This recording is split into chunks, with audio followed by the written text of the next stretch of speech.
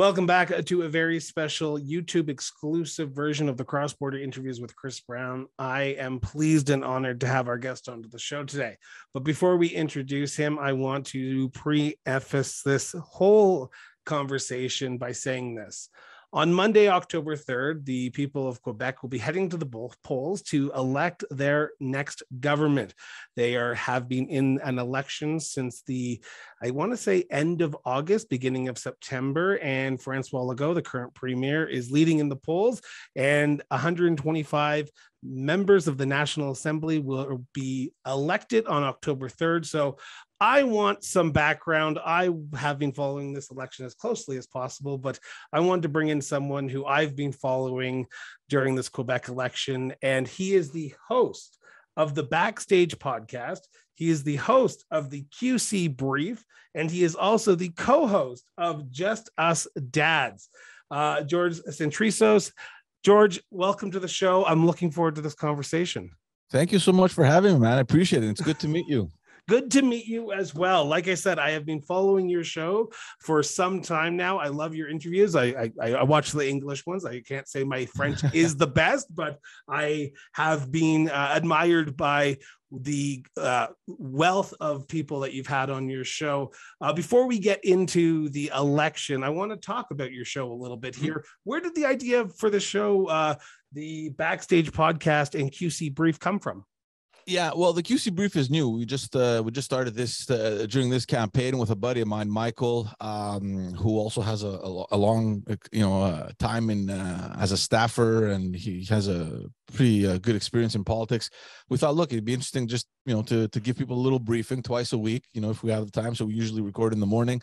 Um, but the backstage, th- this was something that was, uh, you know, in the back of my mind for a long time. I used to work in politics for a pretty long time, from 2007 all the way to 2018. Uh, and, and, you know, working as a staffer, you, you always have to be careful about what you say, and you know, there's always, you know, this scrutiny that we're always uh, w- uh watching for. And uh, so I always thought, man, you know, this looks like it's fun, right? I have a very good friend of mine who's a stand-up comic here. His name is Pantelis, and he had a podcast, and that's how I was introduced to podcasting. And he started like really early on, like in 2010, when no one really in I'd say Canada knew what podcasting was. You know, unless you were following what was happening in the U.S., you know, with Joe Rogan and Marc Maron and all these bigger guys nobody really knew what podcasting was and uh, he was on that trend and uh, i started following, seeing what he was doing, and I thought, you know, one day this this this could be interesting. I, I wish I could just do one now, but you know, you got to be careful what you say. You don't want to you know uh, put yourself in any uh, bad situation so as soon as that chapter closed in 2018 you know i was a candidate in those elections in quebec and uh, unfortunately i didn't win but uh, those ended in october again october 1st and uh, I took that rest of the year kind of just to figure things out. And uh, immediately in January, uh, the podcast was born. It was almost immediate. I knew exactly what, what was going to happen. And yeah, we've it's been going uh, pretty steady, I'd say, since then. I mean, there's been a few moments where uh, I had to take a break there, but other than that, I mean, um, yeah, it's a lot. It's a lot of fun. I don't. I don't know about you there, uh, but I don't know how you're enjoying it. But it's for me, it, it, it's it's it's been a it's been a great experience. Well, I, I, come from the same background as you. I was a political staffer in Ontario for some time, and then after an election, I became, as as political staffers do, became redundant in a minority situation when my M- MPP lost an election. So I mm-hmm. then became uh, sort of obsolete, and then I went back into the journalism field where I came from. But uh, this show has has spawned a lot of conversations and a lot of interesting uh, back and forth, and we've had members of all parties, and I try to do that because I think everyone has the right to have their mm-hmm. voices mm-hmm. heard. And when I found your show and I started following you on Instagram, I was like, this is exactly what I'm doing, but it has the Quebec spin. And right. as a Albertan now, a former Ontarian, I, I found it so interesting to get a sort of behind the scenes look because you you do the same thing that I do in some senses relax the guest that you have on and it's not a he said she said interview it's a just a conversation between two right. people yeah see people people often don't realize this that uh you know politicians are also human beings right and i mean we've seen this up close and personal because mm-hmm. of you know our, our, our job behind the scenes uh, where you know that's exactly how the name came about, right? The backstage. I mean, that's a, a term that we often use, um, and, and it's it's fascinating to me because every time the cameras are rolling, you see a person right it's the politician speaking and regurgitating whatever lines they come up uh you, you know they come up with uh, in the morning you know they all get the email with their lines and we know how it works uh, what what do you mean they're scripted? What? I would never assume that, George. Who sends these lines? Nobody sends anything. Uh, so, and it's a completely different thing when you put them in a setting where they're more comfortable and you kind of tell them look dude this is not you know it's not cbc it's not your big broadcasters here. This is just you and i. Let's just have a conversation. And obviously you know you we try as much as possible not to put them in any uncomfortable situation. We know how it is you know and uh, we don't want to uh, develop that reputation either that we bring politicians and we bury them. Uh, and most in most cases they, they seem to appreciate it and it's it's it's fun for them as well to just kind of unwind a little bit and uh, you know get get out of that um that lane that they're in where everything needs to be structured and you know I'll, okay what is he going to ask me and how do i answer and it's a constant battle in their mind about what questions can potentially come up right and uh, my last question on this subject before we actually turn to the crux of the interview, yeah. and that is the election.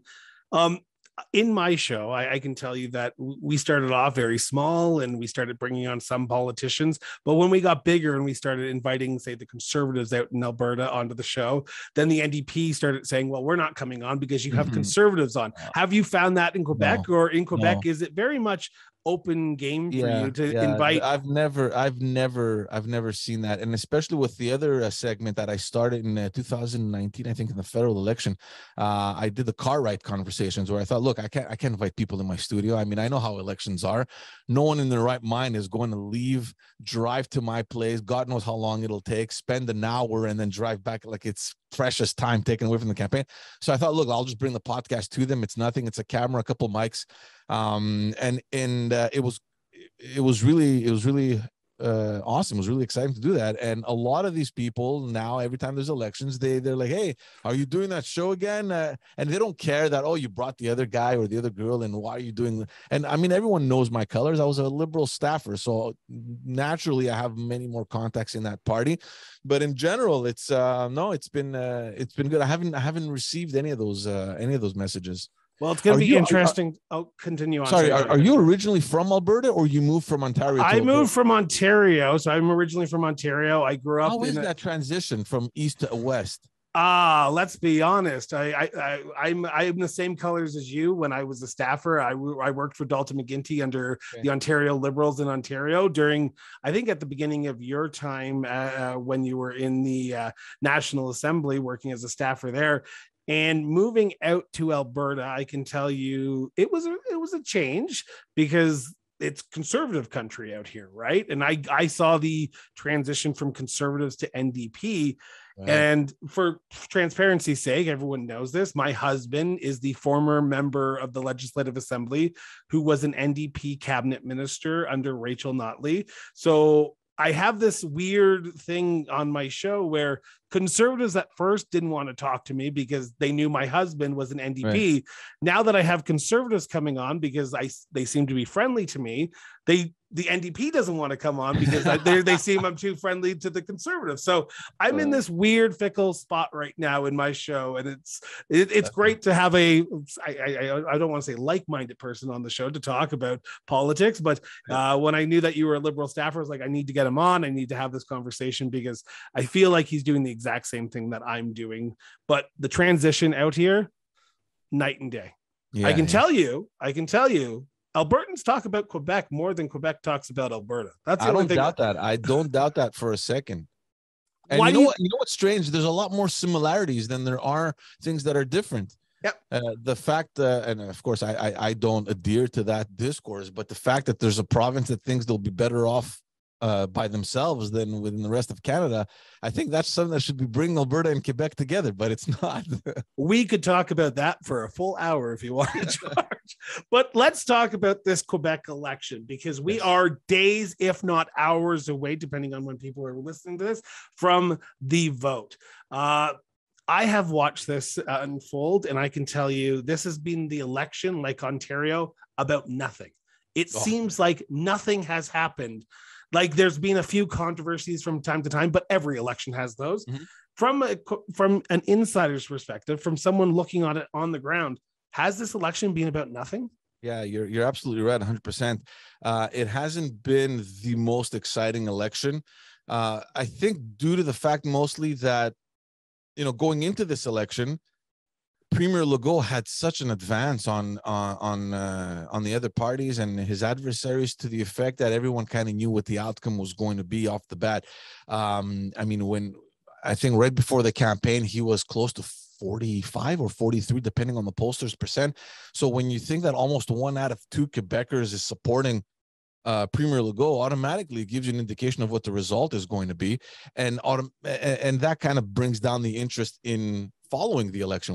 I mean, you, is there really a point in finding out what each party has to present when we know what the outcome is going to be? So you're right it hasn't been that interesting uh, interesting. There have been a few moments here and there. Lately this week there uh, uh, there's a few controversies especially around immigration uh, but that has been going on from the very beginning. And i mean they're they're they're digging up old clips of Premier Legault back in the 2018 election about immigration. So this ha- seems to be a constant kind of thorn on his side. But it's not uh, moving the needle, though, is it? Like it, it doesn't seem like it. No, it's not moving the needle at all. But I mean, for listeners, just so they could know, I mean, Quebec is one huge province, and aside from you know maybe a handful of big cities, you know, like Montreal, Quebec City, Sherbrooke, Laval, you know, Longueuil. Uh, the rest of Quebec is all regions, right? And uh, it's a completely different reality, uh, urban to um, to rural Quebec. Uh, and Premier Legault in 2018, he established uh, his presence in pretty much all of the regions in Quebec. He destroyed the opposition, uh, and he seems and it seems as though he's going to double down this time around. So. People are thinking, is he just playing into his clientele? Is this his electorate? And he really doesn't cater to the big cities. And by big cities, obviously we mean Montreal, because I think that's where the Liberal Party is going to be uh, reduced to, with the exception of maybe one seat out in the regions in uh, the Outaouais region, uh, where Gatineau is, yeah, uh, just uh, right across Ottawa. Um, so people are thinking, look, it's a strategy. Uh, is it wrong? Is it right? I mean, it's up to people to judge, but I mean, look at the numbers he got last time and look at the numbers that are projected this time around. Is he doing anything bad? Probably not in Ontario, in the last Ontario election in 2021, I was on the ground and I can tell you the apathy that residents and uh, like just Ontarians had for that election. Because, like you said, you see the polls and if you see a large majority win already, you're not going to get involved. Are people, are parties having a hard time even getting people involved yeah. to actually volunteer? Mm-hmm. Because, oh my God, yeah, yeah. Except, look, traditionally the party that is in government has more resources. The, the, the parties have more money. They can invest more. It seems as though that they have a better organization. So it does make sense that the CAQ Premier Legault's you know uh, Coalition Avenir Québec is much more organized on the ground. Um two points on that. One yes people there, there's an apathy in general I, I think and i have i'm suspecting that we're probably going to follow the same path that that ontario followed where the turnout was what just above 40% i think in ontario i don't know if we're going to drop that low here in quebec but my guess is that we're probably going to hover around I don't know, 48 to 52 percent, like in that in that in, in that margin. I'm guessing. I, I mean, I don't know. I could be wrong, but uh, my bet is on that. Um, so in general, the population doesn't really care. Um, but more specifically, in terms of the actual volunteers and the you know the, the, the partisans of each party, I think other than the the the the, the governing party, the CAQ, and uh, maybe a little bit the new well, it's not a new party, but it, it it has seen like a growth right now. The Conservative Party of Quebec. Aside from those two parties, from what I see on the ground, there's very little organization happening in the other parties. Definitely not, uh, almost non-existent in the Liberal Party, uh, the PQ as well. Quebec Solidaire, which is a grassroots party, a left wing yep. grassroots party, does have a massive machine, massive, massive, massive machine. The unfortunate thing about this party is that their support is very marginal uh, and it's concentrated in certain regions. So they, I, I doubt that they will ever govern. Uh, but in those specific regions, like we're talking about Montreal, for example, um, uh, and, and in certain pockets in the regions of Quebec, they have a monster machine Um, I want to talk about those two uh, two of the parties that you just mentioned, and that is the Quebec Liberal Party and the Parti Québécois. Yeah. Those are the traditional parties of Quebec. They have won every election going back since I think the 1970s, if I'm not mistaken. You probably know this a little bit better than I. They seem to be in a wilderness right now, and your former party, the party, uh, the Liberal Party of Quebec, their the leader Dominic uh, Anglade, I, I apologize if I pronounced that last name wrong, um, hasn't connected with voters, say as a Jean Charest or if Francois mm. uh, Couillard did. What's going on with the Liberal Party before we yeah. turn to the Parti Québécois? She, she, hasn't been able to catch a break ever since she was uh, uh, elected as a leader. Mind you, uh, and this all started. A lot of people are, you know, they, have come up to me and they told me, you know, uh, Dominique Anglade, you know, she's lost, you know, you know uh, the, the trust of all the members, and I, I don't necessarily think it's her fault. I think she inherited a party that um slowly but surely was kind of disconnected from its base. Uh, and, and, I'm just going to draw a huge parenthesis over here. I came in during the leadership of Jean Charest, and you know we can talk about Jean Charest all we want and whether he was good or not. I don't think he was perfect, but in terms of his leadership ability and his charisma, I don't think we've seen here in Quebec another leader like him, at least in the recent history of Quebec. Um, there was would Legault the, not be there? Wouldn't Legault not be on the same level as Charest because he's pulling the numbers that Charest did? Yeah, yeah, yeah. No, no, we're talking about specifically the Liberal Party. Okay. Jean Charest was the type of politician that walked in the room and he knew nobody. He would leave there as if he knew everyone for years. That's the kind of charisma he had. And I don't I don't know if Premier Legault has that. Um, and we can talk about that later, but there's this ability that Jean Charest had to just connect with the base. And there was this rule of thumb when he was the premier that if you get called from the riding offices, you drop what you're doing and you immediately answer those calls. And I worked mostly in riding offices. I mean, with the with a little exception, I was I was very you know l- little on the hill. We used to place a call, and within half an hour there was a call. There was this priority set on the riding offices because Jean Charest had this understanding that these are the people working in these offices that have a direct relationship with the citizens, the electors and the base, and obviously the the the the, the militants, right, the partisans. And that's what we got used to. Now, when Jean Charest lost in 2012 and the party had a leadership race, they got um, uh, Philippe Couillard, Philippe, who was yeah. a cabinet minister in Jean Charest's government. Different different leadership style. This is a guy that was much more cerebral. He came in and said, "We need to get from point A to point Z. Who do I need uh, to get on board on my team, and how do we get from point A to point. The, his entire focus was on that, and the results were uh, were obvious, right? I mean, for the first time in Quebec's recent history, there were four consecutive surplus budgets. The economy was booming in Quebec. Unemployment was at a record low. It hadn't gone better for Quebec, at least since uh, since we can remember. However, that disconnected so much the base from you know the guys that you know the, the, the ivory tower people that we call right uh, and it was obvious from day one that they did it was almost neglectful right? Well, don't worry about them. We got more important business to handle. And, and, that trickled down. That was a snowball effect. Despite the fact that we had a majority in uh, in 2014 from 14 to 18 which normally should mean that the party rejuvenates and it gets active and there's more members coming in uh, that's a period that people are attracted to the party, right? And it was the opposite effect. People went away from the party. Uh, and I think that trickled down. Dominique Anglade, I think for her, she just came in at the wrong time. I don't know if this could be fixed, to be honest with you. A lot of people that I'm listening to are thinking that this may be the end of the Liberal Party. I think that's a little excessive. Didn't, didn't Legault say that during a st- campaign stop that he doesn't understand why the Liberal Party exists in Quebec anymore? Yeah, he said it because I, I, I want to go back to what you're saying uh, about the Liberal Party and the Parti Québécois being the two traditional parties in Quebec, and it's true. Yeah. For the longest time, you had these two parties that occupied the middle, the, the center of the political spectrum, um, uh, and depending on the context, they would shift a little left or a little right. The only main difference between these two parties essentially was the fact that the Liberal Party was a federalist party and the Parti Québécois was a separatist party. So their main goal was for one party to say that the other one wants to separate from Quebec, from Canada, and the other party was saying, "Look, the other guys want to stay in Canada." This was the main uh, debate happening forever, uh, and it's it, it kind of shifted in, in in the 2000s when the ADQ came in the picture. The ADQ is the Action Démocratique du Québec, and it was a frustrated liberal, Mario Dumont. Uh, he was the, the the the, president of the uh, the of the youth wing who got frustrated. If, for those who remember our history, you know the Charlottetown and the Meech Lake Accords that frustrated Quebecers uh, so much, and he kind of left the party and created his own party.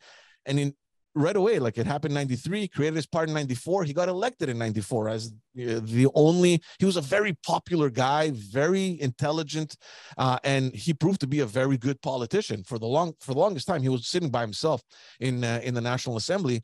But in the early 2000s, when people were kind of tired of the old politics, right? The liberals and the PQ all the time, and it's always about federalism and separatism and all that stuff. There was this wave of support that just went to the ADQ, and suddenly there was an actual real third party in the National Assembly. Mario Dumont in 2008, almost, uh, sorry, in 2007, almost made government. He got 41 seats and Charest got 48, I think. So it was a very slim uh, uh, uh difference between uh, the two. And he got to the opposition. He kicked out the PQ.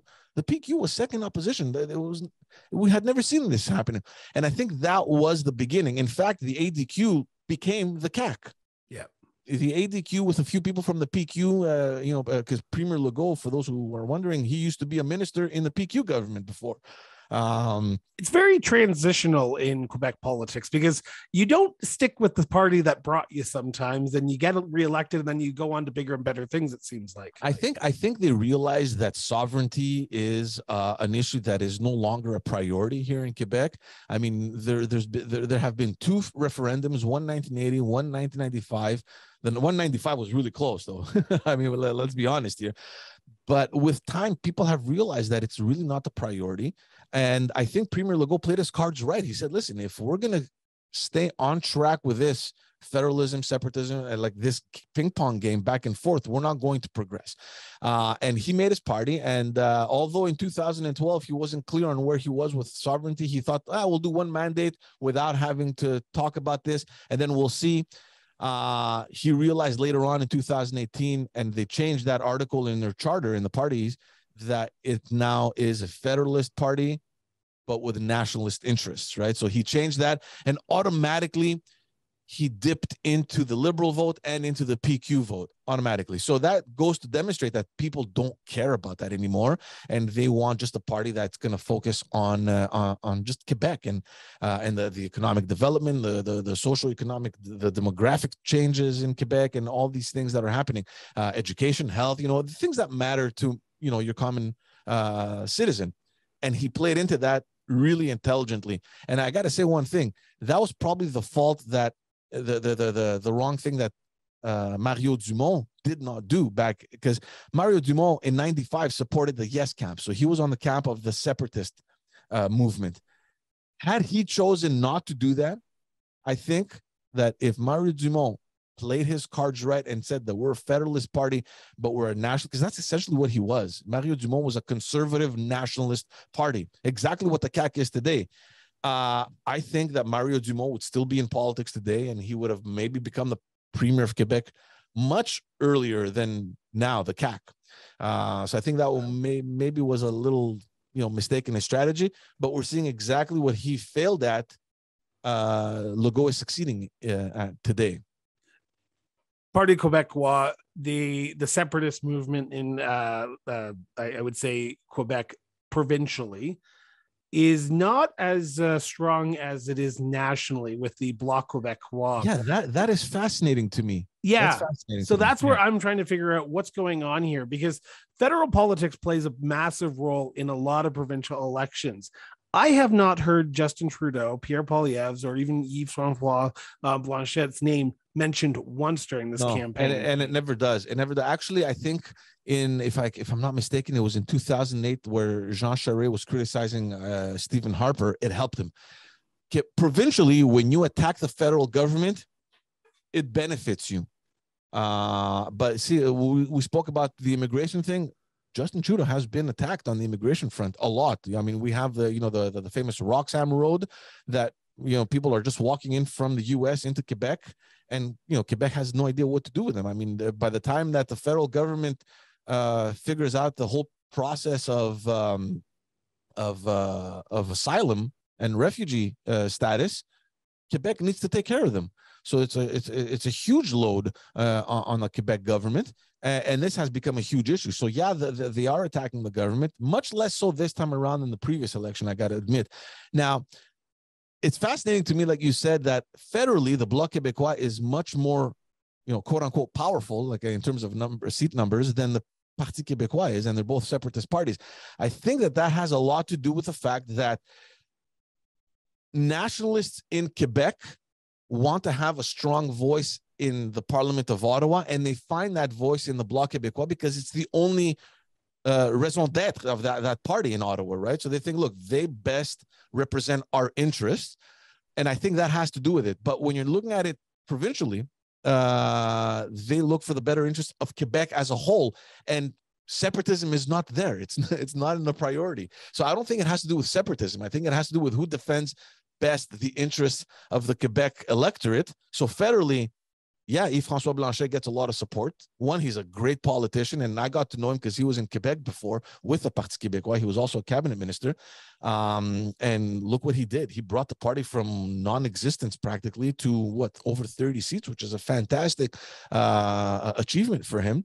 But I think provincially, when you look at it, it, it, it, the, the scale is, is different the Parti Quebecois also, if I'm not mistaken, correct me if I'm wrong, has gone through some leadership issues in the last few elections as well. They seem to be uh, with this we in this weird position right now, and you might know a little bit more background on it, where the the leader was attacked. There was a female leader who went and became the leader of the Bloc Quebecois yeah. while she was a Parti Quebecois, yeah. and there was a lot of issues going on there.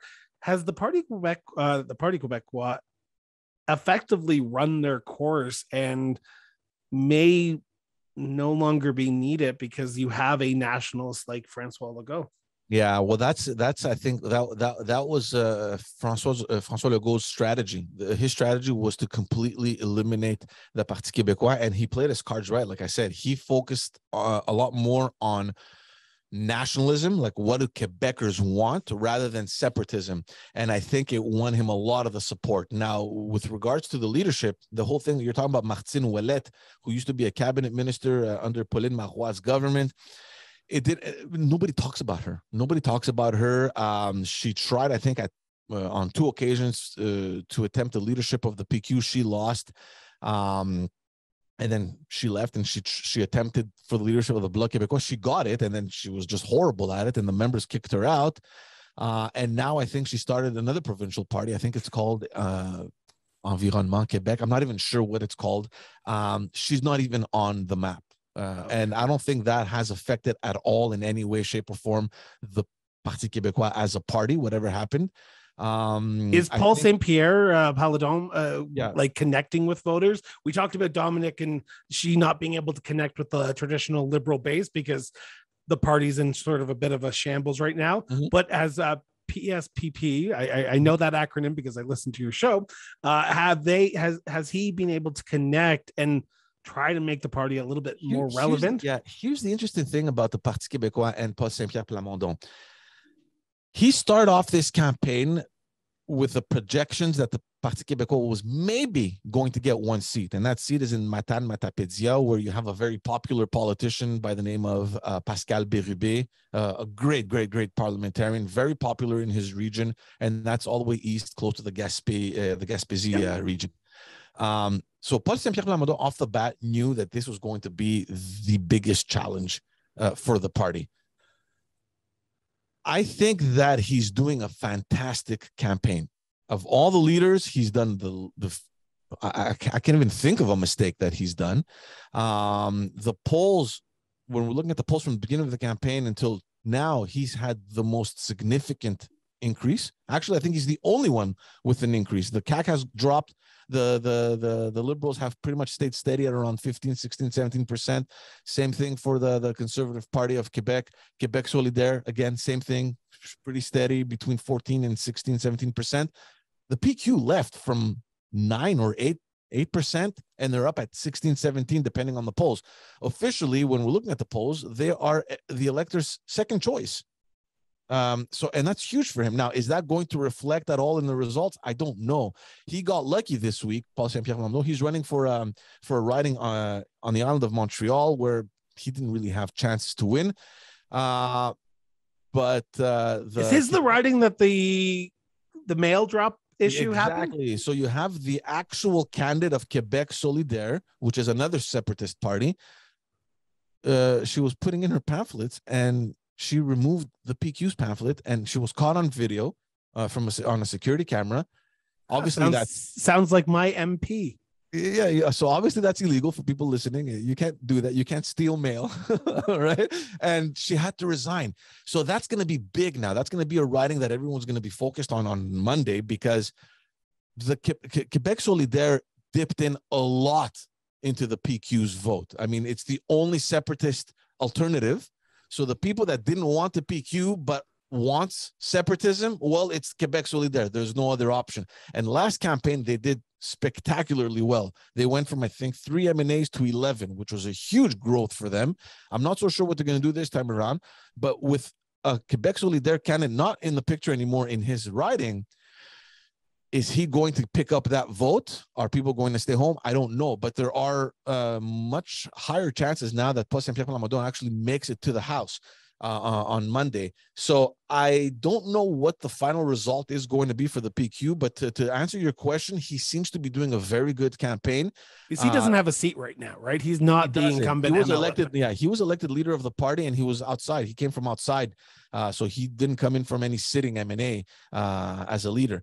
Um, from what I'm seeing and from what I'm hearing, he seems to be reaching out to the PQ electorate.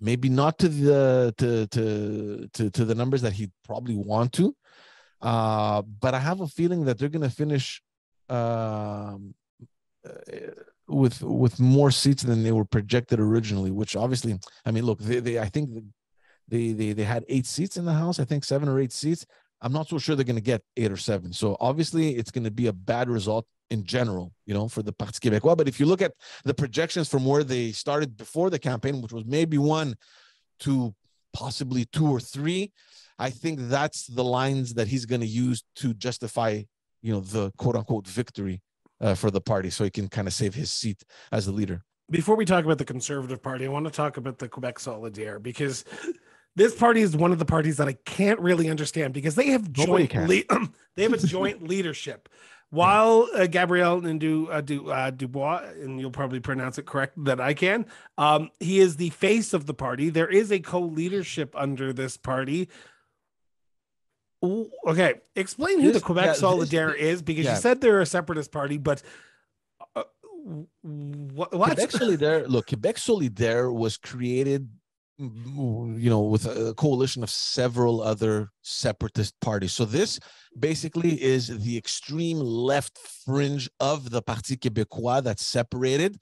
Um, and there's a few parties, you know, there used to be the, uh, what are they called? Uh, L'Union des Forces Progressistes. So the, the, the, the, the union of progressive forces. There was Option Nationale. There was Québec Solidaire um, one the, the, Union des Forces Progressistes disappeared completely. Actually, it turned into Quebec Solidaire, and then Quebec Solidaire merged with Option Nationale during the last election, and that kind of gave him a little bit of a boost. But bringing in Option Nationale, they are the hardcore separatists, right? Um, which wanted nothing to do with the Parti Québécois. So that kind of gave them a little boost. Essentially, for the people listening, they are a grassroots extreme left wing party. Uh, there are some journalists here in Quebec that are going as far as to call them radical left. I don't know, depending on how you define radical. I mean, I'll, I'll, I'll leave that up to the people to judge, but they are a grassroots, really. And that's why I said they have an amazing machine. Their organization is, is is really, really, really effective. Uh, the way that it's structured, I mean, it's, it's, it's, it's a communist party. I mean, they have a, a, a um, a general secretary you know uh, there's a general secretariat uh, and then which is a weird structure because in reality the actual leader of the party isn't even elected. If you look at the constitution of quebec solidaire there's a general secretary that controls everyone and then you have two co-leaders manon massé and gabriel nadeau dubois And this became a topic I remember in the debate during last election in 2018, um, uh, where the leader of the Parti Québécois, Jean Francois Lisée, at that time, and this came out of left field, they were talking about health.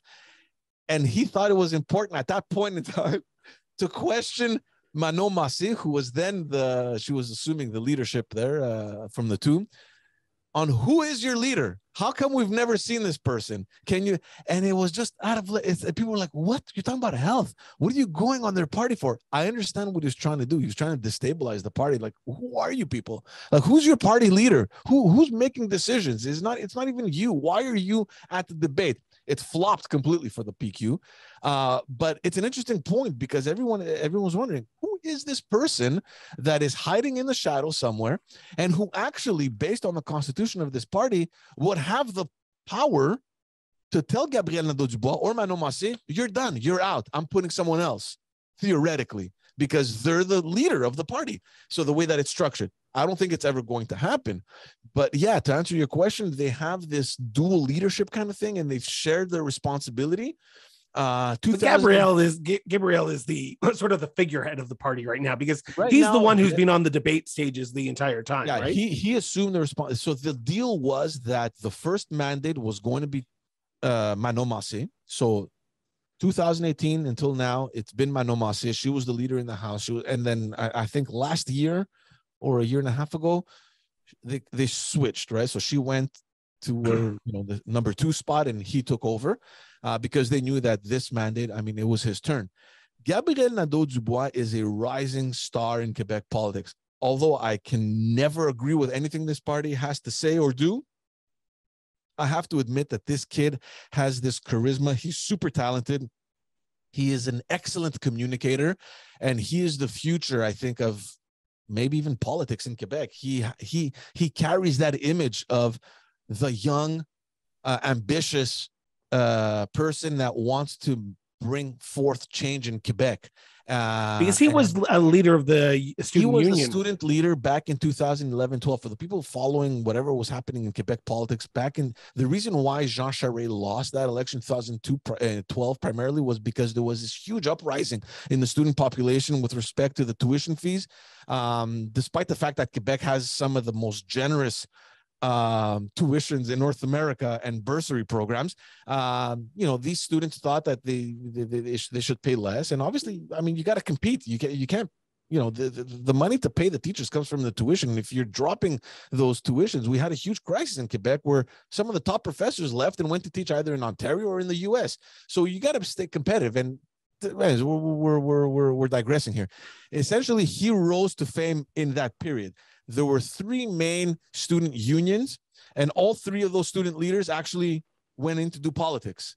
Uh, two of them, uh, one never made it. Uh, she never got elected. The other guy, uh, Léo Bureau-Blouin, was elected under the PQ government in 2012. Uh, yeah, 2012. And then he lost uh, in 2014. And Gabriel Nadeau-Dubois came in by-election, I think, in 2015, if I'm not mistaken, somewhere there he was the only student leader that refused to denounce violence. It was horrible. 2012, I mean, the demonstrations on the streets were massive. We're talking about tens and tens of thousands of people. Like some people had even, uh, I think one or two demonstrations may have reached close to 100,000 people on the streets. It was massive. It was a massive movement. It was backed by the unions. Um, they, they, they threw money to these kids. They coached them on how to speak effectively, on how to organize. It was this huge attempt to overthrow the liberal government through the student uh, union uh, groups. And Gabriel Nadeau-Dubois was that rising star that came out of that movement. And again, he, and and now it's coming because he's the leader of the of the Quebec Solidaire. So he's been questioned very often on uh, his image uh, back in 2012 versus now. And, you know, he's been very honest and said, listen, that was 10 years ago, different mentality. I was a student. And, and everyone is bringing that up. They're trying to bring him down by saying that, look, he's the guy that in 2012 refused to denounce violence, refused to denounce all all the the the, the, the crazy vandalism that happened uh, in downtown Montreal and in other cities. He was the only one. He, ne- he never denounced it. Uh, so he's assumed it. He said, look, I've grown, I've matured. Obviously, he's taken the right approach. Uh, but yeah, that's Gabriel Nadeau-Dubois. And he, this kid, I, am telling you, he has a long future uh, in Quebec politics. the, the last part I want to talk to before we switch gears here and talk about the actual campaign and some of the issues that are facing is the Conservative Party. For those who don't know, the Conservative Party in Quebec has never really been an, a factor. Uh, it started a few elections ago. Uh, actually, the traditional... actually, actually, it's been actually it's been it's uh, it's been officially a party since the '90s, but nobody's known. Okay, well, there yeah. you go. I didn't exactly. even know. Yeah, but this this election looks like the election that the party could actually make a break and have a member in the National Assembly. Um, Eric uh, Dumaine, I don't know him. Uh, I know that he does run in the federal conservative circles. Has he been uh, a good campaigner over the last 30 days? Yeah. Eric for those who don't know, uh, started his uh, political uh, career, like you said, in the in the federal conservative circles. He's made a run when the ADQ, like I mentioned before, Mario Dumont was created. He played a huge role in that in that party. He, he actually ran as a candidate in 2003 and lost. Um, I know that he's even um, worked with the Bloc Québécois in Ottawa, so the separatist party. Um, so it, it's it's a mysterious thing about Eric Duhaime. And then for the longest time, he was this uh, you know this controversial radio host. Uh, he went into journalism, uh, became very popular, especially in the region of Quebec, uh, around Quebec City, basically. Uh, and he rose to popularity. Uh, and he took over the Conservative Party. Again, for those who don't know, the, this is a party that has existed. I, I never knew the Conservative Party existed. And, and had I not been involved in politics and looked at the ballots, to see that oh no there's a conservative part of quebec there's a candidate? Geez wow okay. They never got more than 0.8% maximum 1% of the vote. Um, because really this is this is the issue that John Charest had during the during the federal conservative leadership in the last round was people out west said you're not a true conservative because you ran for the liberals and traditionally the liberals did what were more conservative than the exactly. federal liberals. So so yeah exactly so in quebec the quote unquote conservative party was always the liberal. Like, I mean, people compare it to the federal liberal party because of the, the name. One party has nothing to do with the other. They are really not linked like they are in other provinces. Um, and the the the liberal party here in Quebec always had that center center right uh, kind of policy. So yeah, they, uh, they they they played the role of you know what the conservative party in Ottawa does. Um, so there's never been a real presence of the conservative party even though theoretically and you know legally they've existed since the mid 90s um eric duhaime comes in and, and this you know we can talk about this afterwards if you want to talk about the potential new leadership of the liberal party. People are thinking the party's gone it's gonna you know disappear. I think it, it's all about the leader. So, and to, to prove that, to justify that example, look what's happening with the Conservative Party. They went and found one person that was really popular, very charismatic, an, an incredible communicator in the in the name of Eric Duhaime, and he brought the party from you know barely existing, like nobody even knew they were on the map. A lot of people thinking, oh, it's a new party. A lot of people think, oh, oh look, there's a new conservative party. It's not new. Uh, he just brought it up to where it is.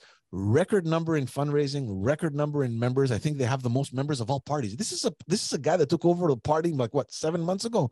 So he's done an incredible job in bringing the party to where it, where it is now. Let's uh, uh you know let's agree uh, to one thing as well. I don't know if we had it not been for the pandemic the last two and a half years, I'm not so sure if Eric would have been able to do what he did. There's a lot of frustrated people you know those anti um, uh, anti-vaxxers and anti you know covid measures uh, you know that that whole kind of gang uh, those convoy trucker supporters kind of people that, that that that are supporting and i think that pretty much explains this wave of support but Eric Duhaime is really not to be ignored. Um, he's really, really efficient. His communication skills are, are, are really, really amazing. He knows exactly how to put his message through. I've said this from the very beginning of the campaign. It feels from what I'm looking at and from what I'm hearing and from the people that I'm speaking to, it seems that he's underestimated. That's just my take. I could be wrong. They have them at maybe one seat, and that maybe one seat isn't even Eric Duhaime. It's not his writing. The writing that may uh, get elected under the conservative banner is in Beauce Sud. So it, it's not the riding that Eric Duhaime is running in, uh, but of course it's in, it's within the region of Quebec. So it's in the outskirts of Quebec City. Um, For those who don't know, Beauce is where uh, the, the leader of the Maxime Yeah. Bernier is yeah, from, so and that's father. his, yeah, that's his old, you know, federal uh, riding. Of course, they're much smaller Yeah. uh, provincially, uh, about fifty thousand electors. So that's probably the riding that may come in. I don't know. I th- that that's what the pollsters say. I have a feeling that they're underestimated. Like I wouldn't be shocked if there's more than one conservative MNA elected on the third of October. Again, I Does could that, be wrong. does that don't know. change the makeup? Does that change Quebec politics if the Conservative Party gets into the House of uh, the National Assembly? I I think so. I think so. I mean, there's a new voice. I mean, look, look at how everything changed from the minute the ADQ came in. The dynamics changed completely, completely. So eh, that movement has been growing steadily. It's now become the CAQ, and they're in government. They're gonna have their second mandate now, uh, from what it appears. Look what happened when the first Quebec Solidaire MNA was elected back in 2008. It was Amir Khadir. Ever since that election, it's been multiplying. It's been growing. They got 11 last election. I'm not so sure if they'll be able to maintain 11 maybe they're going to come up even this time but i'm, I'm pretty much have them around that same number.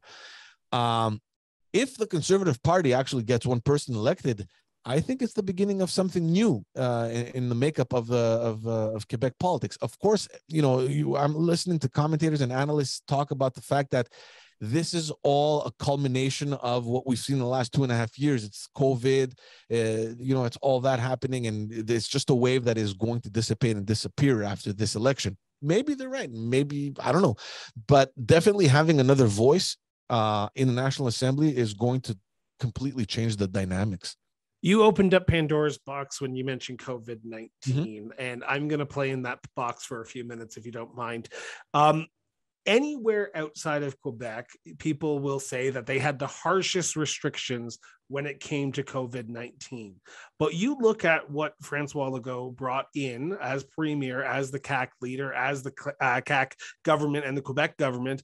They had strict lockdown measures around COVID 19, probably the strictest in Canada. It looks like you are heading, the province of Quebec is heading to reward them for their handling of COVID 19 and the pandemic.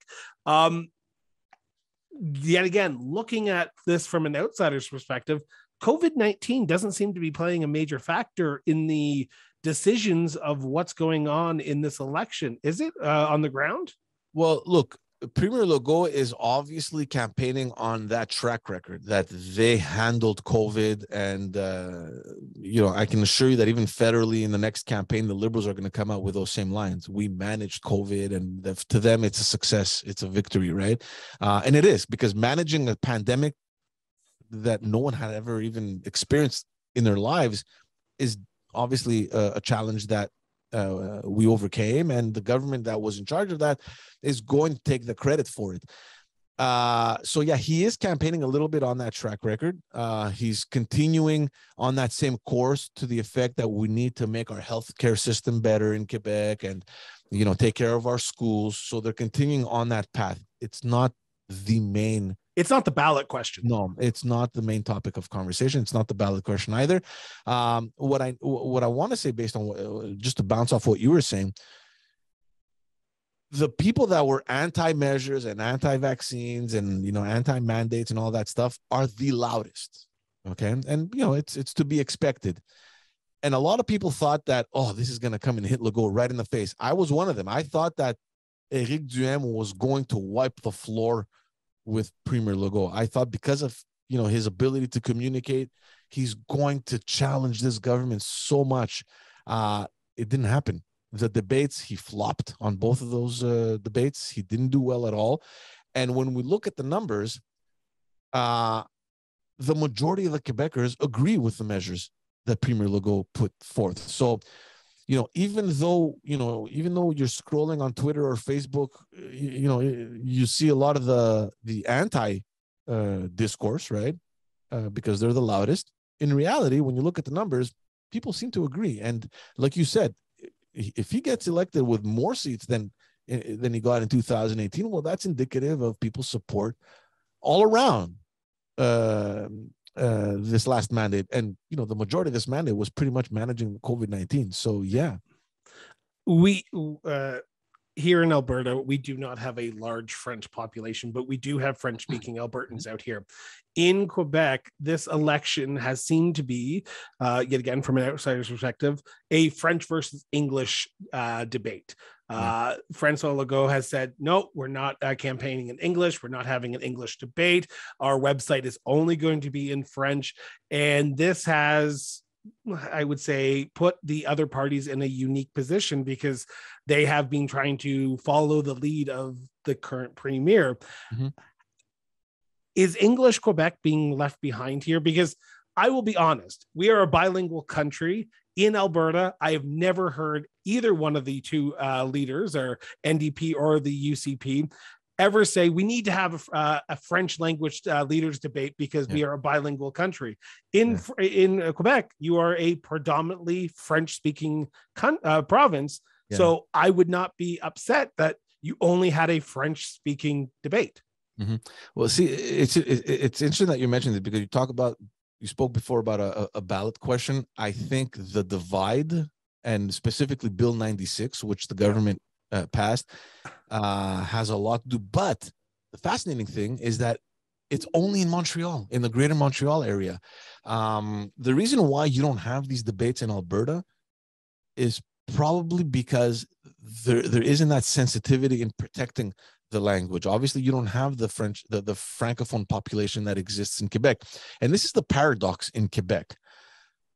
I agree fully with the French language laws had it not been for that, I wouldn't be speaking French. Okay. So I, I don't disagree with having laws that protect the French language, especially given the argument that the government has been making forever that we are a minority in North America, not only Canada, in North America to be speaking French. We're talking about less than 2%, I think. And the huge, the biggest chunk of that 2% is obviously in Quebec. So the fact that you want to protect that language is, you know, I support that 100%. And here's the paradox because now you have the Anglophone community in Quebec that feels that uh, they're being neglected, that they're being discriminated against. And they're coming up and saying, hey, you need to protect us as well. And the argument from the Legault uh, government has always been listen, you are an English speaking community in North America. Nothing is going to happen to your language. Nothing. You're there to stay. French, however, is something that we need to defend, we need to protect. So this is the argument. Now, uh, so so f- for for the English speaking Quebecers, they are it's this weird situation that they're stuck in because they represent a majority in North America, but the minority in Quebec. So it's a weird it's a weird kind of reality to live in. Uh, Have the, the other parties been trying to uh, focus their attention on that uh, anglophone speaking. The, the liberal party, the liberal party, has been desperately trying uh, to bring that up as the main topic. They are failing miserably because they failed to to to to to represent the English speaking community throughout this entire mandate, while Bill ninety six was being uh, worked on in committee. Uh, in fact, they, they, they, they you know, they, they flip flopped. Uh, I, I, don't know if you, for anyone, I mean, nobody really looks at what's happening in committees uh, in any province. Um, what I yeah. did as a staffer because I was pay, yeah, forced to be yeah. paid to do that. exactly. But, you know, j- just to bring everyone up to speed, while they were, you know, going through the bill article by article, the Liberal Party made an amendment. They requested uh, an amendment to an article to the effect that French language would be imposed in CEGEP. And I don't know how it is in other provinces, but here between high school and university, there's two years of CEGEP. Uh, you know, we call it college or CEGEP, whatever. Um, and it's two years, and there's English CEGEP and there's French, obviously. And the liberals wanted to, uh, they proposed an amendment to impose French courses to English CEGEPs uh, mandatory, right? So, uh, so let's say you're studying in I don't know science or whatever, and, and, you come from an English high school and you're going into an English CEGEP. In order to graduate, you need to do three courses in French, which is impossible because these kids, these students, don't have that level of French. Uh, and they realized the mistake. It was chaos in the English community. They're like, what the hell are you doing? Nobody consulted with us. And how can you make this decision on the fly? Um, obviously in committee, everybody was looking at themselves like, "Are you sure this is the amendment you want to propose?" Okay, all in favor. So Let's everyone obviously voted in favor of it. And then the Liberal Party, embarrassed, they had to admit that they made a mistake. And then they came back in committee and requested an amendment to their amendment. So it was just a botched thing. It completely discredited them with uh, in the in the English uh, community, uh, in the Anglophone community. And since then, they have struggled to uh, to regain their trust. So I'm not so sure how the English community will be voting this time around. For the first, well, not the first time, but there are two new parties that were created in this election specifically because of this. So you have Bloc uh, Bloc Quebec, I think, or Bloc Montreal, and uh, the Canadian Party of Quebec. Some really fringe party, like it's a one issue party. They're not going to go anywhere. But it just goes to show you that there's two parties that were created to cater to the English community so uh, uh, the Liberal Party is the only party, to answer your question, that has been desperately trying to get the English people and, and to bring the issue of the English language uh, to the uh, to the fore, but they haven't uh, they haven't succeeded. And uh, again, I, I mean, you know the, the the the argument that we need to protect the french language is really really really important especially in the regions of quebec and you know with with the exception of montreal I, I i mean you can yell all you want I don't think you're going to get anywhere because even if you come into Montreal or the greater Montreal area where this bill is is going to impact most of the electorate, there still are francophones living on the island of Montreal and, and around the, the island of Montreal that support Bill 96. So, and and we're going to see this. You're going to see there's there's going to be maybe one or two more ridings that uh, that that, uh, that uh, Legault is going to pick up in, uh, on the island of Montreal, which justifies exactly the importance of Bill 96. Is so, Montreal the battleground in this election? It depends. Uh, it depends which party. For the Liberal Party, yes, they they've reduced themselves to Montreal. It's. Uh, I mean, Dominique Anglade's strategy was wrong from the very beginning. She chased after Premier Legault on the nationalist front. She wanted to demonstrate that we are the real nationalist party. And I don't know how she did not see this. I don't know how her advisors did not see this, but they were running by themselves. Like the the the the, the, the CAQ had taken that, they had won that title, and they were long gone. We were you know the liberal party in, in parliament they were debating they were arguing not not with the government which is their job they were arguing with the other oppositions on who was the most nationalist party so Legault was just laughing. He's like, okay, yeah, you guys argue between yourselves on who's the nationalist, the more nationalist party, and we'll just flank the Liberal Party and claim that we are not the, the party of the economy, which was forever the brand of the Liberal Party of Quebec. It was the party of the economy, the party of great projects and huge advancements in economic development. That was the one thing that no one can take away from the Liberal Party. Premier Legault did it, and he did it masterfully. And now the Liberals have nothing; they have nothing to campaign on. So they're looking for scraps. Um, Dominique Anglade's main element in her platform was in the uh, uh, the project called ECO. So she's focusing on green hydrogen uh, you know, eco meaning ecology and economy. So she's merging, you know, the environment, uh, environmental policies in uh, so that they can boost economic development. It really isn't sticking. It's just not going anywhere for her.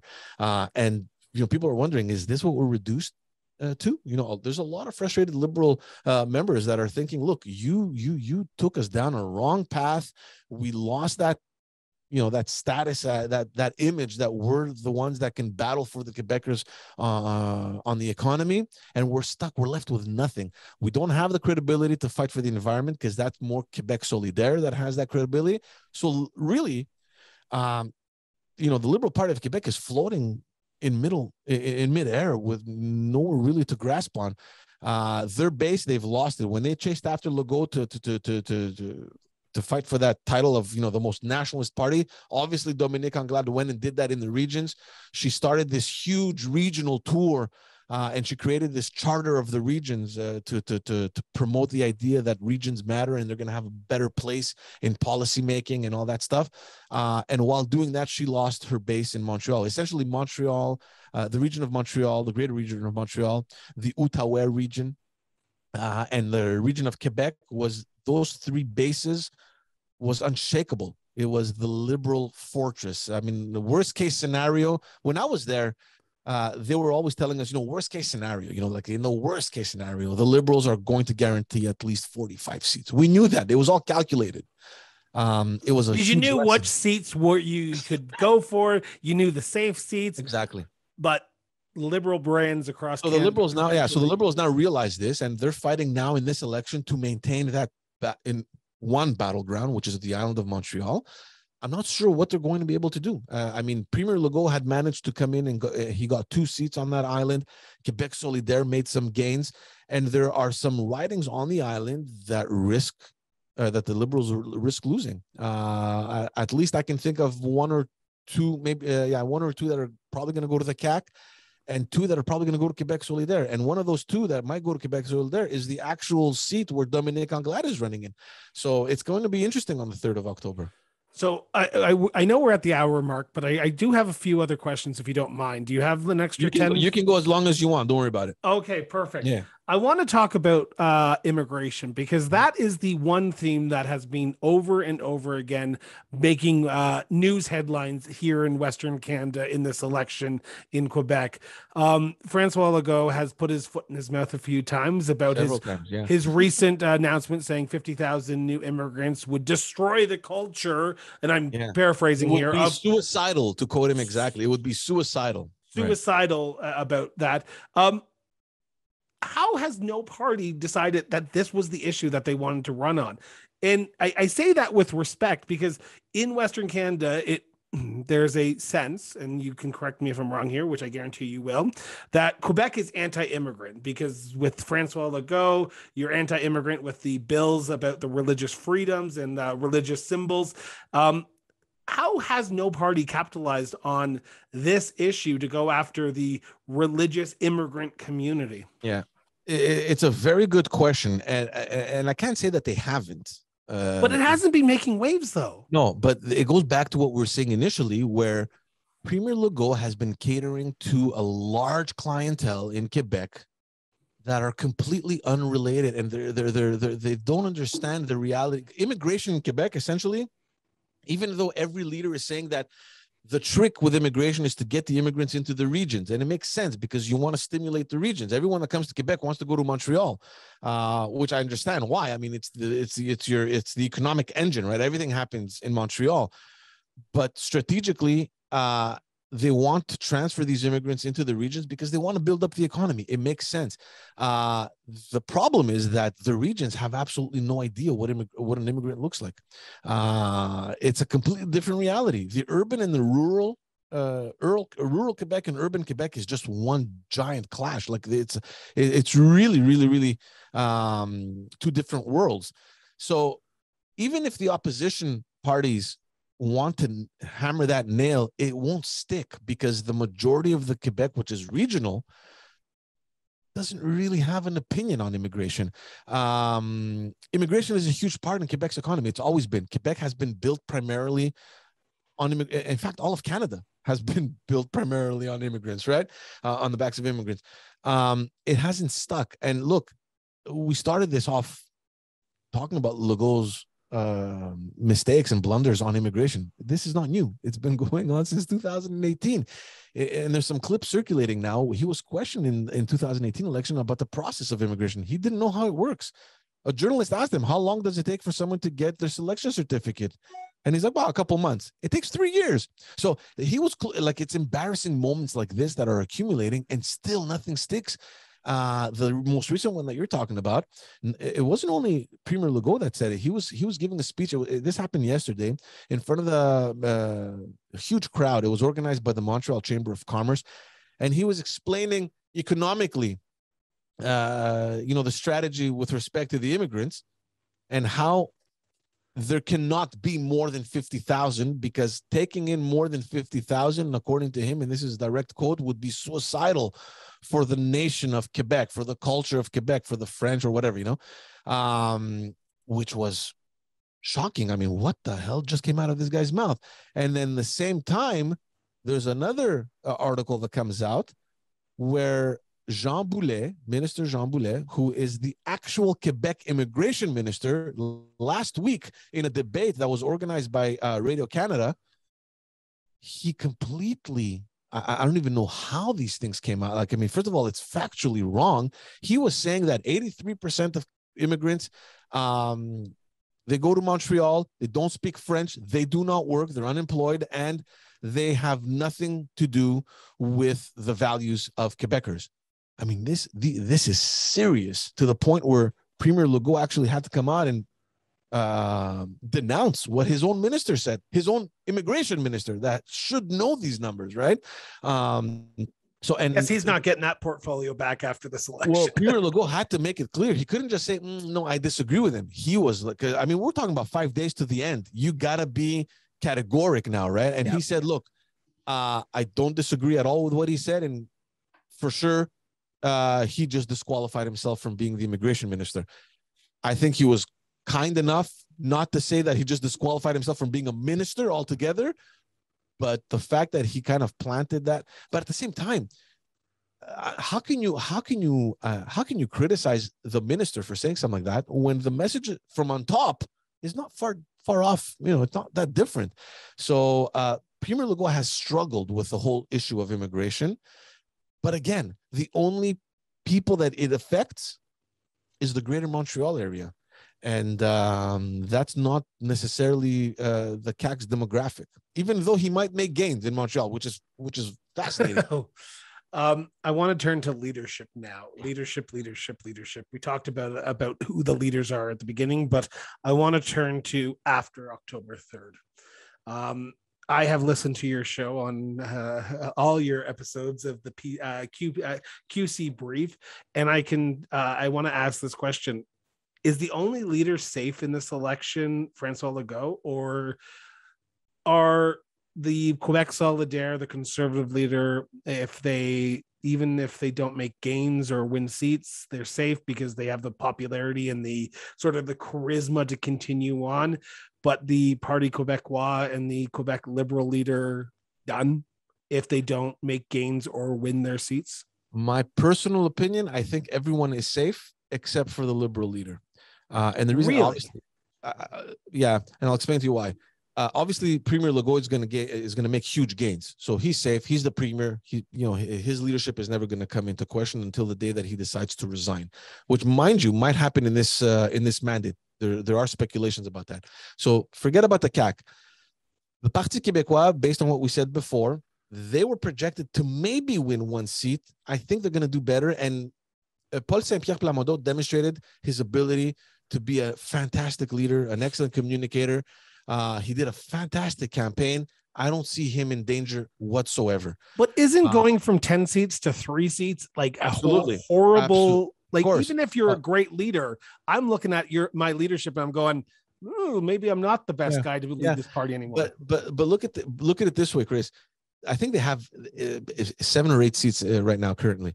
Paul Saint Pierre Plamondon came in when the party was literally destroyed. So when he came in as a leader, already the PQ had very low uh, projections to begin with. So his argument is I came in to bring this party up. You guys had us disappearing. And of course, factually, I mean, you had eight and you're going to be left with maybe two, ah, at most three. It's, it's a bad result. But the argument is that the reason they have three is because of him and not zero or maybe even one. So I don't think he's in danger. And I think he's proven himself to the membership of the PQ. So I think he's going to be fine. Quebec Solidaire, I mean, Gabriel Nadeau-Dubois is a god. He's not going anywhere. Even though he, I don't, I don't see them making any gains. I think uh, they might actually lose seats. If not, they're gonna, they're gonna come out even. Uh, but Gabriel Nadeau-Dubois, he's, he's royalty. He's not going anywhere. Uh, obviously, Éric Duhaime, we just spoke about how you know miraculously he brought the party from non-existence to you know being the the the, the object of the subject of every other party. They're they're all talking about him and what he's proposing. Like he's brought himself to relevance right? Uh, so really the the big question mark now is the liberal party of quebec. The liberal party of quebec suffered probably one of the biggest losses in its recent history in 2018. They went from government to 27 or 26 seats. It was a slap in the face, especially considering what I told you before. For the longest time, we knew that in the worst case scenario, we're left with 45 seats at least. And that didn't happen. We went under 30.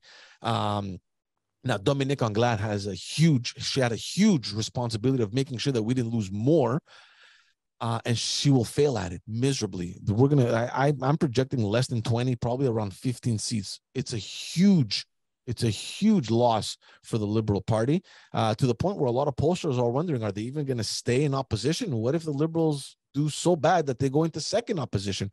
I'm not so sure if that's going to happen, but uh, it's not going to be good. It's not going to be pretty for Dominique Anglade. And I've spoken this on many of my episodes of my podcast. I think that Dominique Anglade on the on the night of the third or on the morning of the fourth will be giving her speech, her resignation speech. I, am convinced. Uh, I, I'm, I'm, I'm, I'm, uh, I mean, there's nothing more convincing that I that, that I can say about you know the leaders in this in this election, um, to the point where I think at this point, if I were her, I'd probably be crossing my fingers to lose my own riding. Uh, and we've spoken about this with Michael on the QC brief. If you had to choose between losing your riding and saying, well, that's it. I mean, you know, I got the message and it's time to turn the page, or winning your riding, but having to face this embarrassing result and having to resign afterwards, I would probably pick the defeat. Look, I lost. Uh, you know, respectfully, I agree. Uh, this is democracy. Thank you very much. It was a, it was an honor, and uh, moving on to other better things. And that's it. You're done. Um, because don't forget, also, there's a lot of people that I've been speaking to that have been, you know, telling me that there's these murmurs going around that Dominique Anglade wants to remain on board. That I don't see happening. I mean, I don't even. I, I don't. Uh, first of all, I don't even know if it's true. Uh, I mean, they're all rumors just coming back to me. But if that were the case, uh, I mean, it's completely delusional. Uh, so I guess we'll have to wait on the third to see what's happening. But personally, it would shock me that she doesn't resign you are uh, I, I, don't want to say this uh, in, uh, lightly but you you you know quebec liberal politics. You you were the inside guy. You were on the backstage for some time. Um I, am going to ask a poignant question here, and please, uh, I apologize if it comes off insincere, but is it because she's a woman that that, that she's having issues right now, and or I, I is it because she's a black woman? Yeah, that that I think probably comes up more often, but the, the, the, woman factor, no, because look, we had a premier. She was a woman, Pauline Marois. She didn't last she long. Did. She didn't last long, but she was elected. I mean, electors chose her to be premier. So um, I, I don't know if the woman thing has anything to do with it. Maybe. I mean, I, I, I don't know. Okay. Um, and then my follow up question to that is could there have been a, another candidate who could have done better if it wasn't Dominique this is this is the you know this is the hypothetical question that everyone is asking because we didn't you know the liberal party did not have a proper leadership race. The leadership race started in 2019 at the end of 2019 uh, there were COVID. two candidates officially. There was dominique anglade and alexandre cusson. Alexandre cusson was the former mayor of not, not a real big city but a, you know uh, you know it was uh, it was uh, drummondville.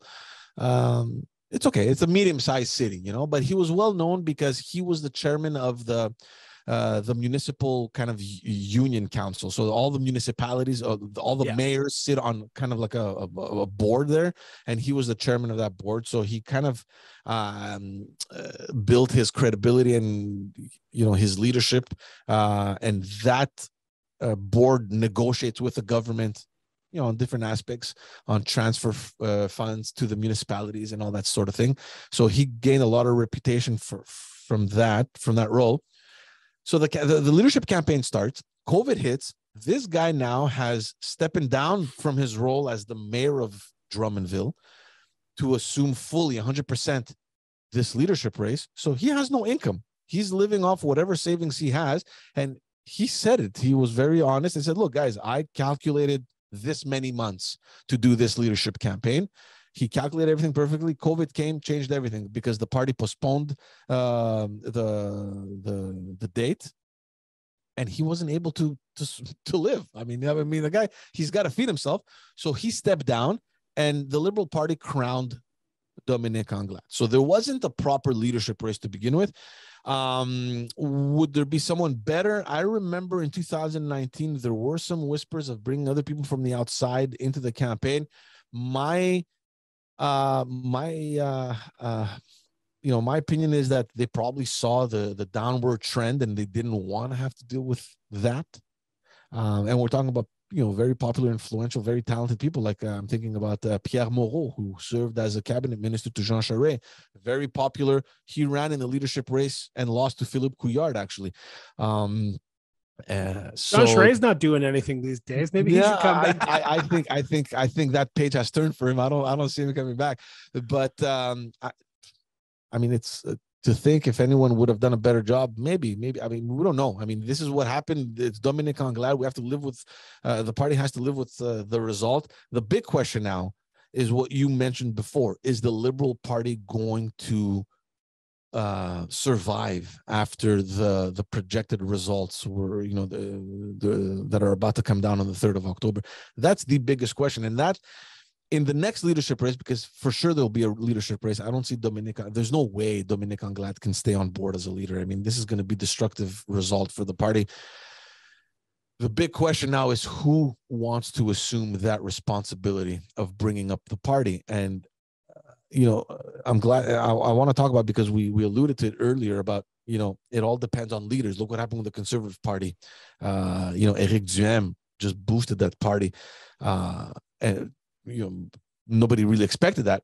Uh, so they're thinking can that happen to the liberal party? Is there one is there that one individual that has that leadership capability the popularity the charisma to get people excited and you know bring them back into the party and really bring up uh, the party maybe. I mean people have been suggesting a couple of names. Obviously uh, pierre moreau's name keeps coming back. I don't know if he's going to do it. The interesting no, uh, name though that has been circulating is mario dumont the guy that created the adq party the former you know liberal young liberal that left. Uh, and by the way in the 90s this is a guy that former premier robert bourassa the very popular uh, uh premier who managed to get over 100 seats at that time, uh, for those who, do, who remember. He had Mario Dumont as his protege. He he was selling him as the future of this party. This is how talented Mario Dumont was back then.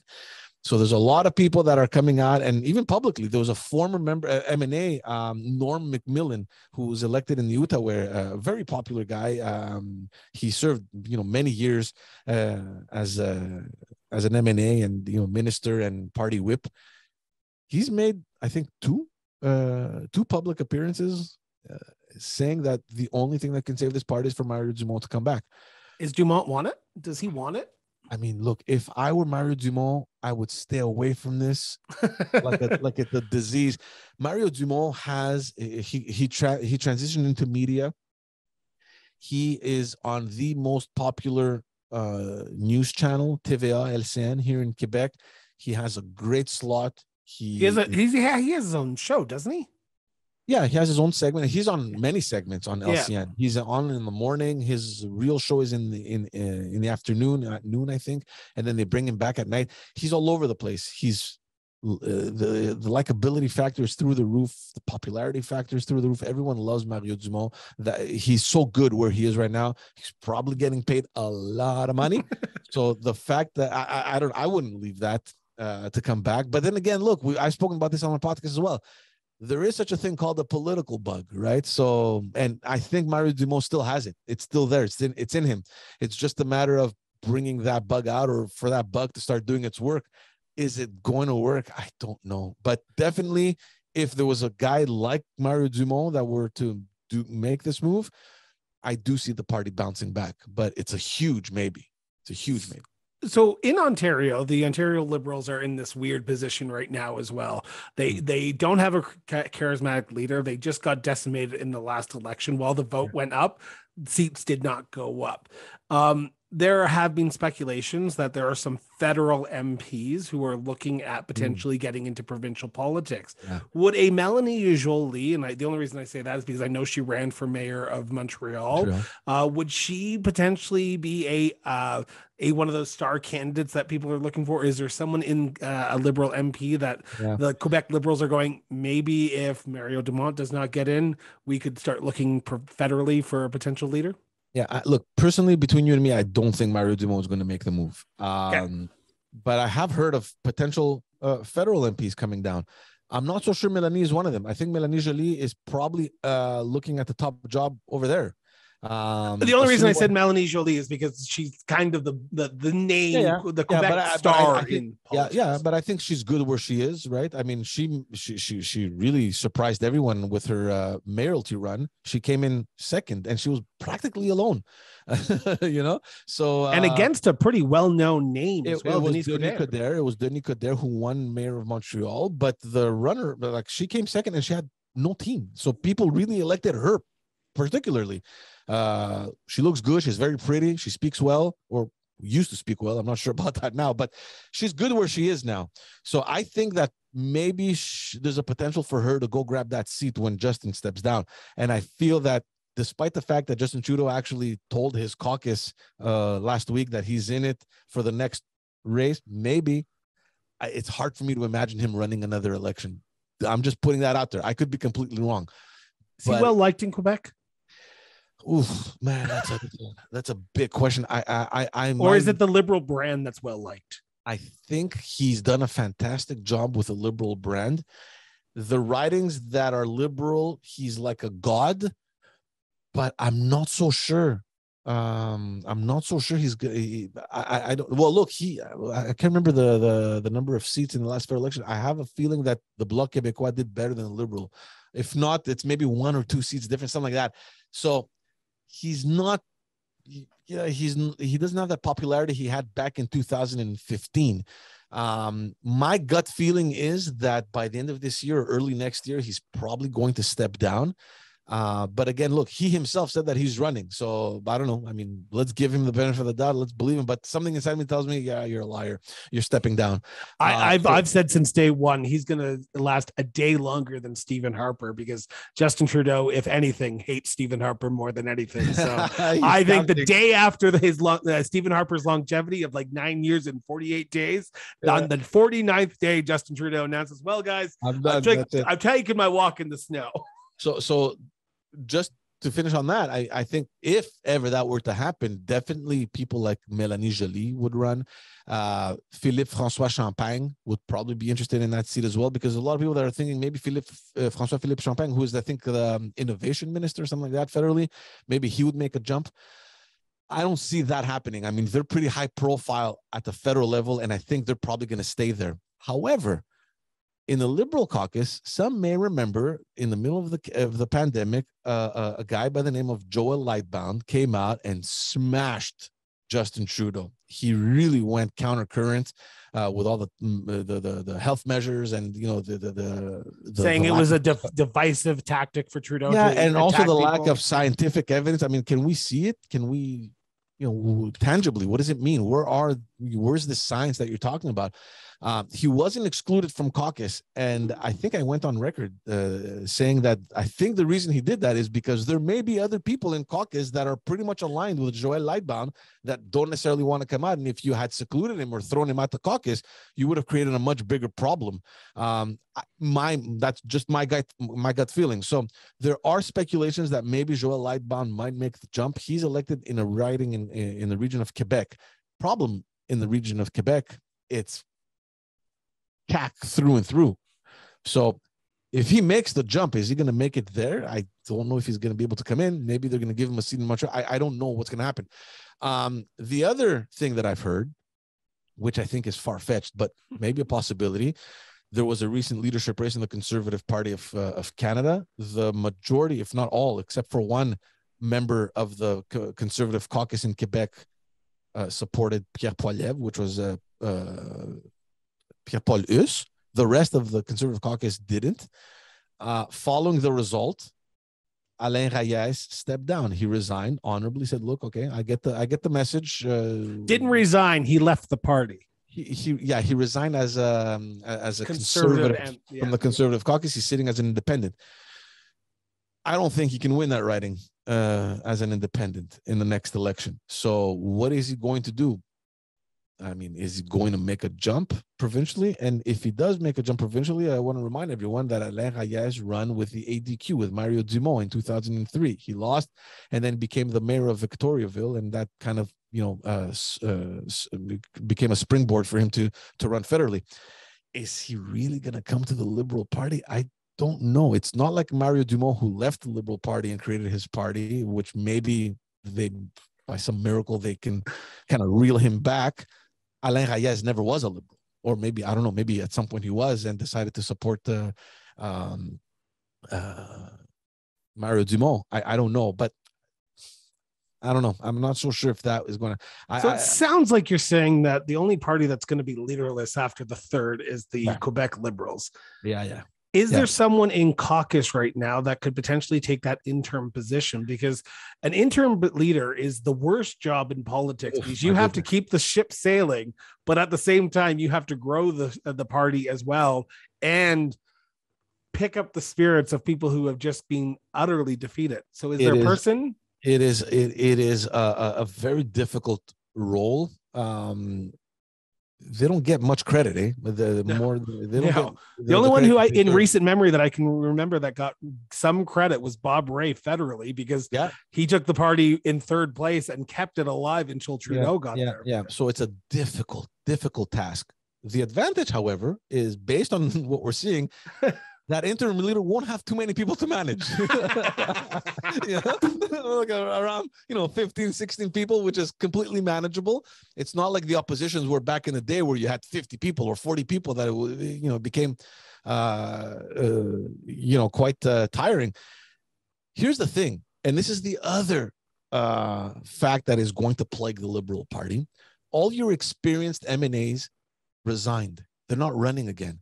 So you have your Carlos Leitão, that was a former minister of finance, um, Christine St. Pierre, that's been there since 2003. Um, uh, what's her name? The other one. Uh, been a uh, lot of announcements of retirements, though. Like even on the CAQ benches and the Parti Québécois benches, like this election seems like a very new slate of MH. Uh, yeah, well, the CAQ, yeah, the CAQ didn't have that many. The Liberals, I think there were like 14 or 15 people that decided not to run again. And these were all experienced MNAs. Now, I understand, you know, you don't you're you're foreseeing another mandate in opposition. Chances are that I mean, you know, why waste another four years? And let's let's be honest here. I mean, you're not doing politics for the money. Uh, so all these people step down. There isn't that many people that I'm assuming will be reelected that have what it takes. Aside from André Fortin, who is uh, elected out of uh, the Pontiac, so it's in the Outaouais region, who will probably get reelected. Um, Marc Tanguay, who gets elected in the east end of Montreal, who's probably going, going to get reelected. Aside from those two guys, um, everyone else is a rookie. They came in last election, and and Philomena Roti who also gets elected in the east end of Montreal, who I know, I, I know personally, she won't go for that. Uh, she, she, she she's not interested. So aside from those three people, I don't see. I, I I I don't know. I don't know who's going to take on the interim role now. And the, let's be honest, Dominique could still pull this out. She could actually get above 27 seats. Oof, with the split that is currently predicted in the polls with the Quebec Solidaire, the Conservative Party, the Party Quebec all hovering about that 14 to 16 range. Who knows what's going to happen on a, election? Who knows? But I would I would be shocked if the Liberals end with more than 20. Uh, I have them around 15, 16. The other thing that I heard uh, one analyst comment the other day was that given the state of the party, if Dominique Anglade manages to win her seat, obviously that's a the, the, the, that's that's a given. You need to, to to win your seat. Maybe she could assume the role of interim leader and say, "Listen, I'm going to step down. I failed, but I'll stay on board as the leader until the membership or you know elects a new leader." Maybe she'll. I mean, she'd be perfect for it. I think, uh, even though the membership is so frustrated, they don't want to see her anymore. I mean, once you once the election is done and over with, and you realize that there isn't really much left here, maybe she'd be the ideal person to assume the role, at least in the interim, um, and then step down. So I think it'll all be indicative of what's happening. I mean, we'll wait until the third of October, and then we'll see who is going to uh, uh, accept the interim role. If any of the two, either André Fortin or Marc Tanguay, take take on the interim role, automatically we know that they won't be running for leadership. But if they both refuse to take the interim, it'll be indicative of uh, for sure they'll be running for leader.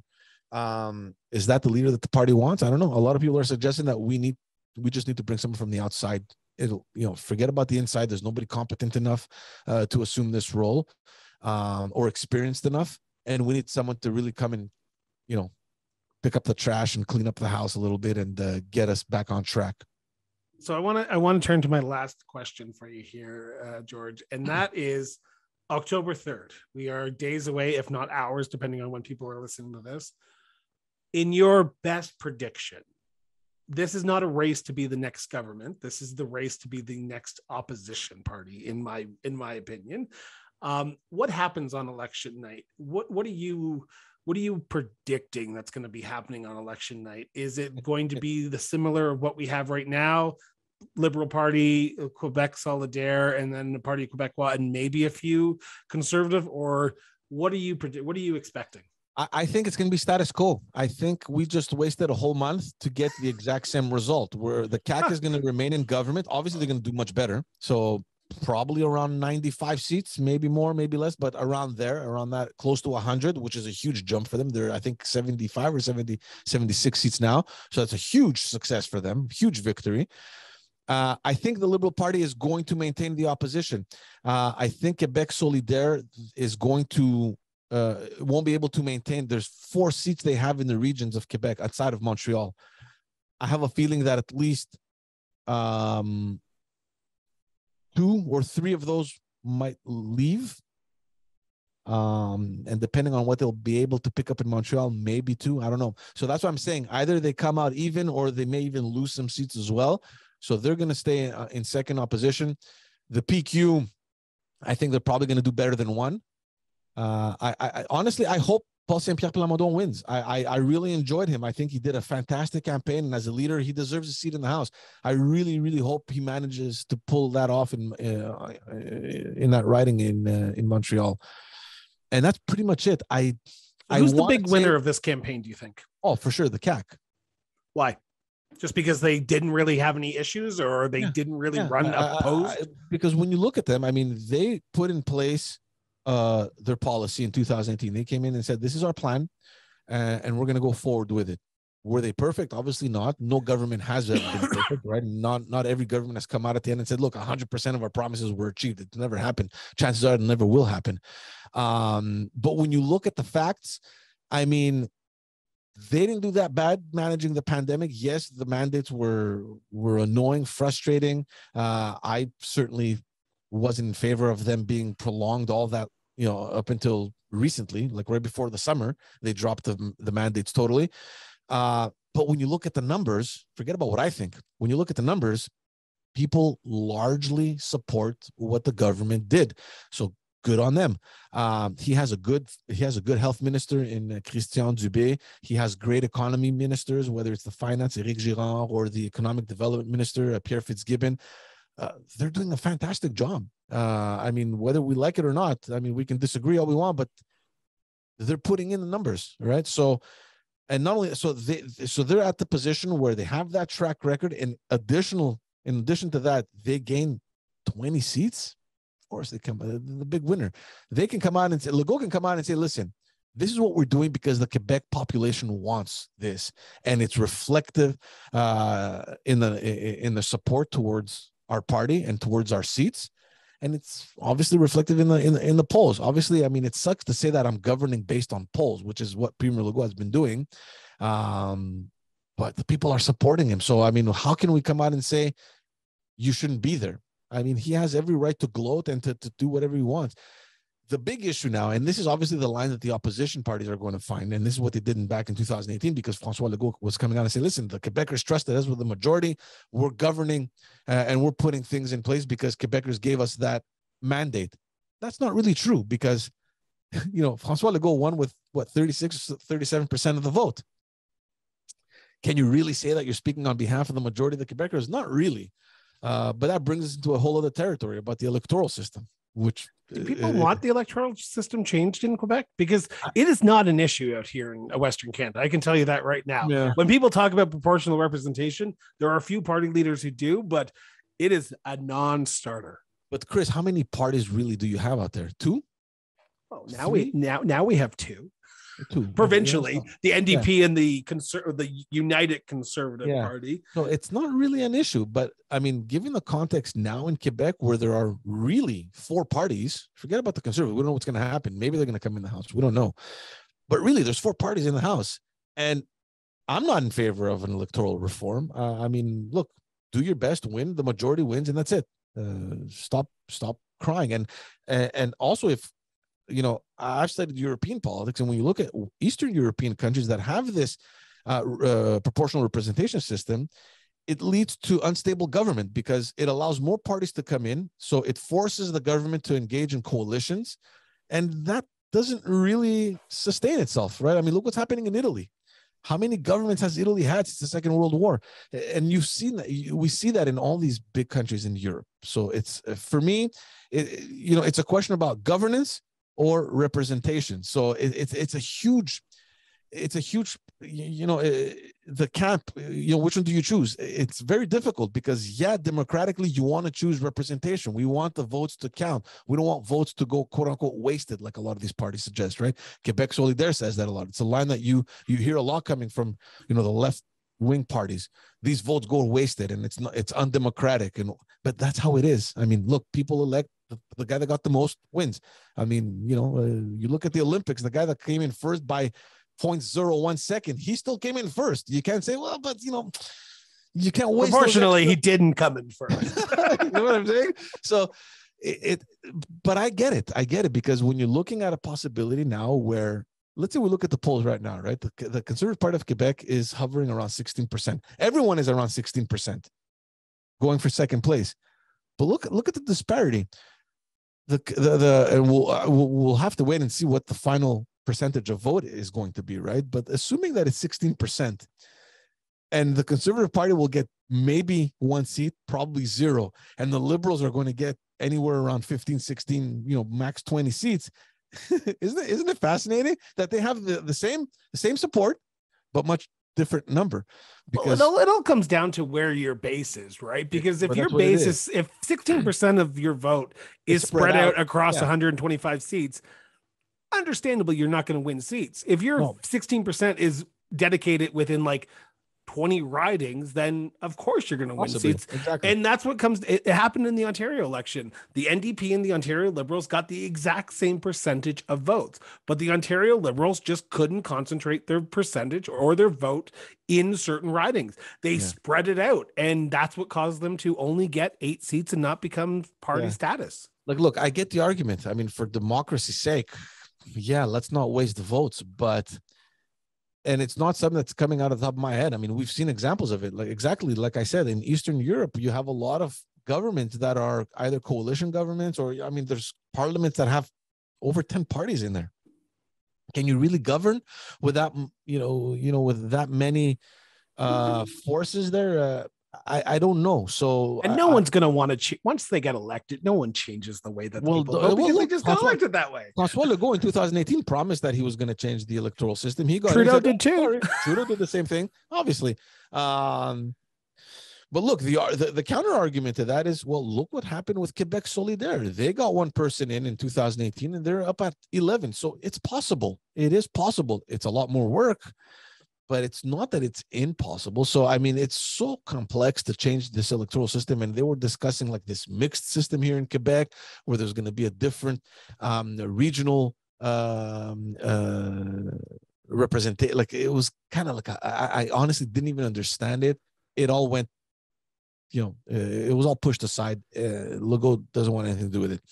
Um, so I I mean, I don't know. Um, We'll see what happens. Talking about oh yeah, the percentage. So uh, yeah, so it, but it's still fascinating that you know you have a government with well in 2018 76 MNAs, but only with 36 percent of the vote. I mean, it, it is it is a little weird. It's strange. Yeah.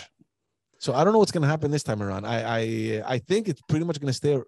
The, the composition is going to stay pretty much what it is now, uh, with the exception of the CAQ that's going to get more not not not much is going to change, man. So I think that's gonna it's it's it's kind of like in uh, at the federal election.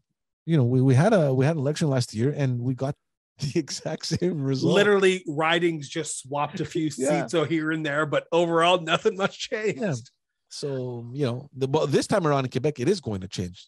Premier Legault is going to get a much bigger representation. So the arguments are all in his favor that he's doing a good job, and you know that's that's that. I mean, we have to accept it. I mean, there's not much to say. George, I want to thank you so much for this conversation. This has been a fantastic, almost two hours of talking about Quebec politics and also about what's going to be happening after October 3rd. Um, thank you so much. Uh, my pleasure. My pleasure. And I can I can go on for more if you want, but uh, you know, we both have Well, we'll have you on afterwards so we can digest this. So Yeah, that way yeah, we sure, can we figure can out what happened.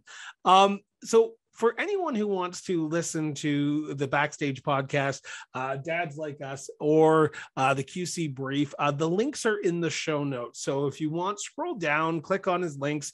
Uh, George's Twitter account, Facebook account is there as well. So please follow him. Highly recommend it because he gives a, as you can just tell with the last hour and a half, uh, a unique perspective into Quebec politics. And it's always fascinating to uh, hear from different perspectives. So, uh, George, again, thank you so much. Um, and I want to remind everyone, as I say in all my episodes, put down social media for at least five minutes a day. Go have a conversation with somebody, helps our democracy, helps our society, and helps us be a better people. So, with that, this has been a YouTube exclusive version of the cross border interviews with Chris Brown. Have yourself an excellent day. And remember, everyone, keep talking.